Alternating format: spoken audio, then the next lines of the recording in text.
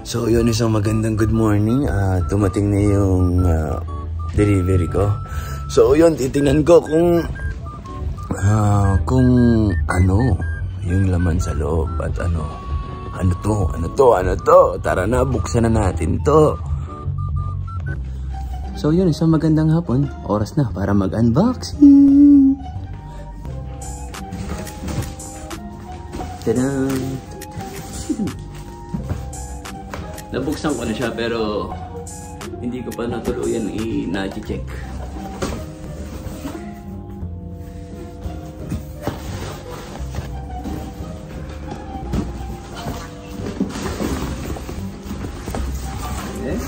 muna, tissue.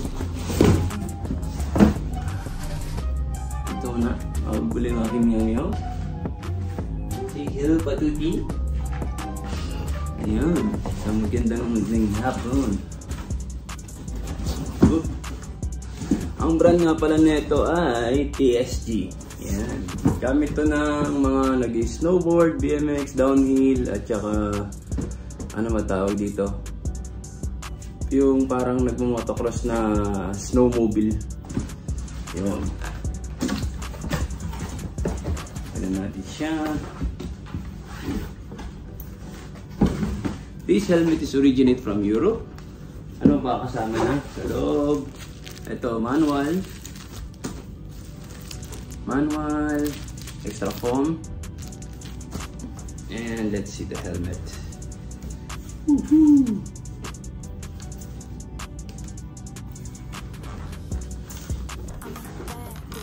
Whew! Let's see.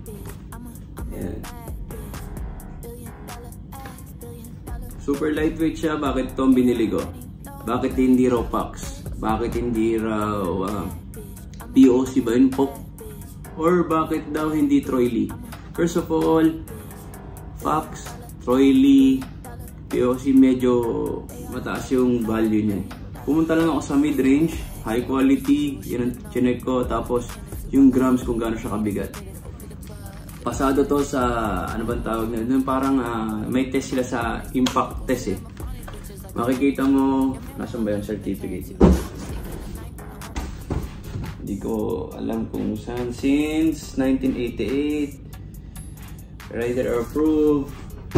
So yun, to cut the story short, ito talaga ang the best helmet para sa mid-range, quality-wise, lightweight. Meron siyang 12 bends sa ibabaw. Ayan. See in the front. On the side. Ayan siya. Sa likod. Papugian lang. Poging-pogi ito. Mas pogi pa sa akin. Sa loob. You see? Mm-hmm. It weighs 1,000 grams yata. Ito ang tinimbang ko kanina. 1,000 grams. Tapos, ang kinuha kong size, it will be small. Kasi, yung Lee, yun sana kukunin ko. Mas sexy, mas fit sa mukha. Kaso ang value, nakakabutas ng bulsa. Yung Fox, mas pogi rin, mas maraming vents. Kaso, butas din ng bulsa. Ang maganda lang doon sa Fox, tsaka sa Troy Lee, meron na silang MIPS. Yung pag uh, nasemplang ka, hindi makakalog yung utak mo. So, eto, wala siya nun. Pero otherwise, tingnan mo naman ang forma. Susukatin natin ngayon dyan. Sukatin natin siya ngayon. I choose small. Ayoko kasi ng maluwag. Ayoko nang gumagalaw yung ano. Gumaganyan. Pag lumi, maano ka. Ito kasi magagamit ko pag nag-pump track ako, pag nag-downhill ako, yung mountain bike ko yung nakatambak lang. Gagamit ko rin siya pag nag-BMX. Ayan nga gamit ko sa scooter. Ayan. Tingnan natin yung fitness nito ng small. Small kinuha ko eh.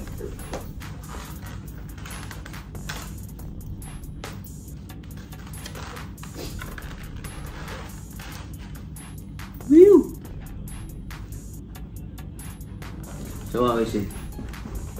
Dungis ko. Super dungis.